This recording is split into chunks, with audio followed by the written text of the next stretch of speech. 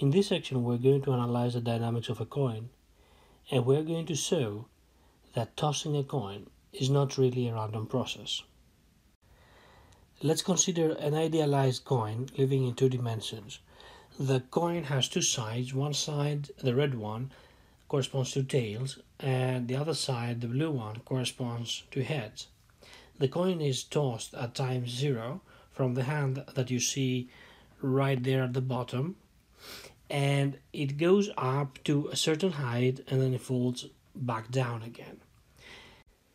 Let's analyze the situation using undergraduate dynamics.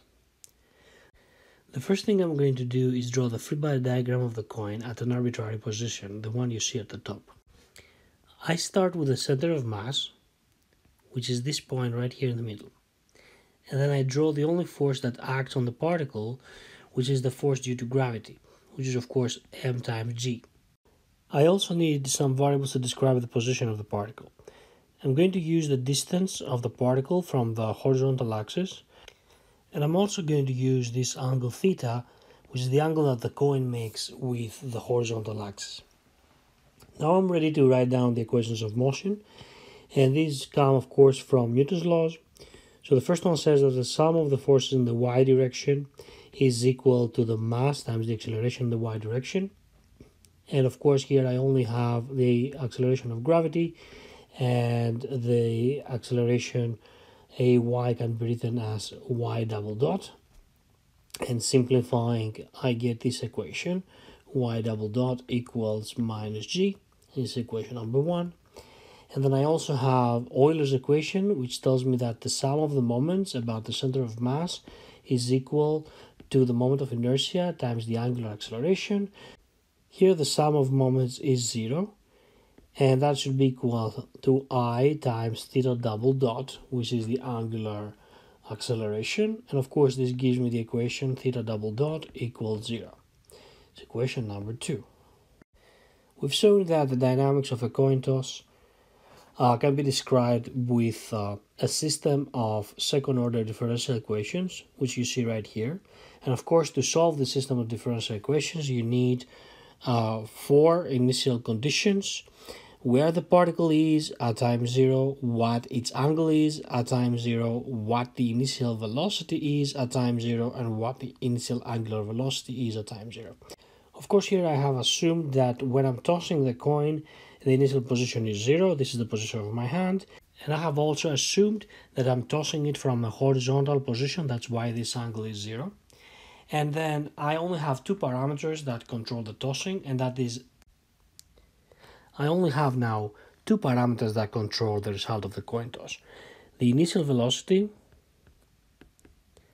and the initial angular velocity.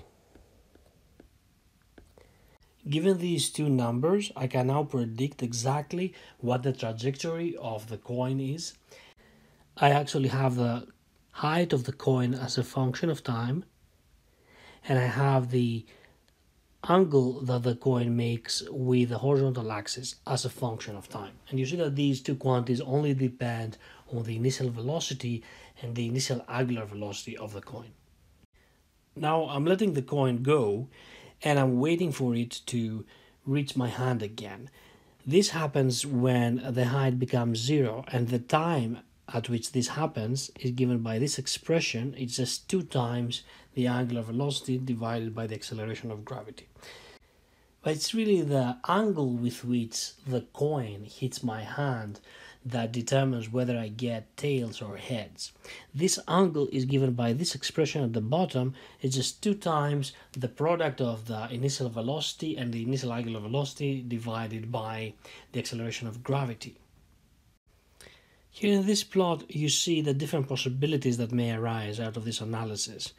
On the left, you see angles that result in heads, and on the right, you see angles that result entails.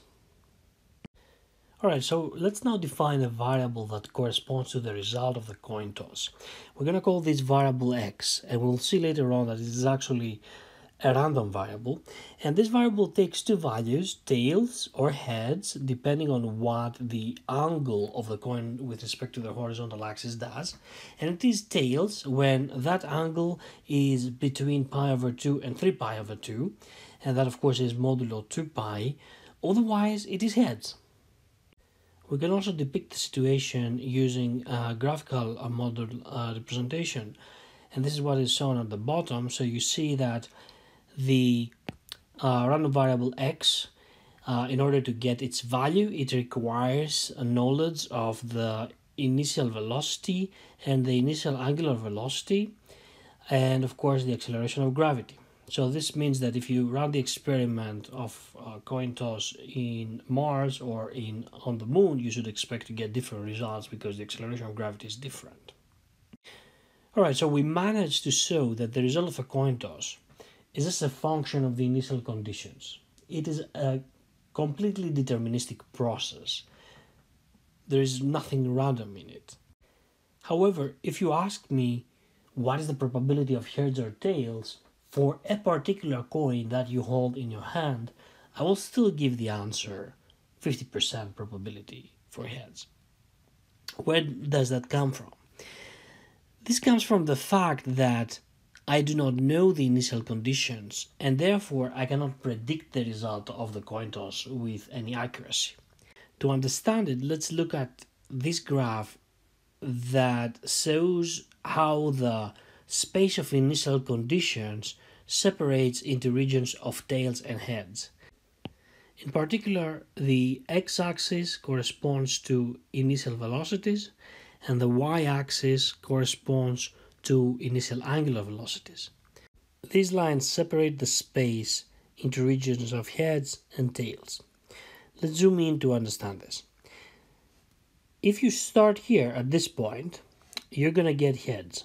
And you're to get heads pretty much at any point between these two lines.